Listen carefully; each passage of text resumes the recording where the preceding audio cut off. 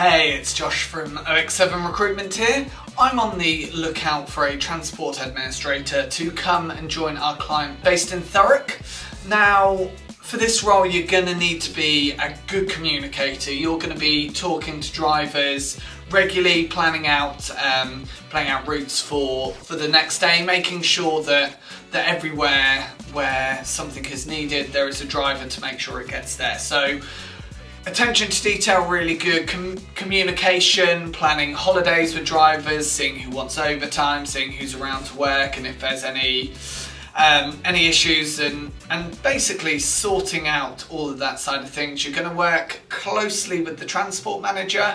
Um, when they're away you'll be the one taking charge and and it's a really yeah really good opportunity to learn a lot of those skills that will put you in really good stead for the future as well. So yeah, communication, attention to detail, if you've got a background coming from the transport side of things, so you're used to all of the transport planning, route planning, all of that, that will be massively beneficial as you'll be, yeah, jumping jumping around and doing a, a couple of the different um, areas of the role uh, for the company. Salary wise, you're probably going to be looking at 28 to 32, depending on experience. And it is um, an office-based role, so you'll need going to be able to get to Thurrock.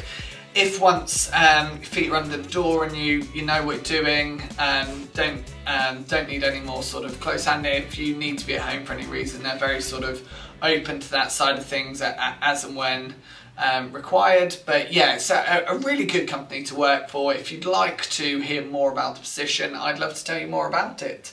Um, just give me a call, drop me a message on LinkedIn, drop me an email. Let's find a time to chat and we'll chat back shortly. Cheers.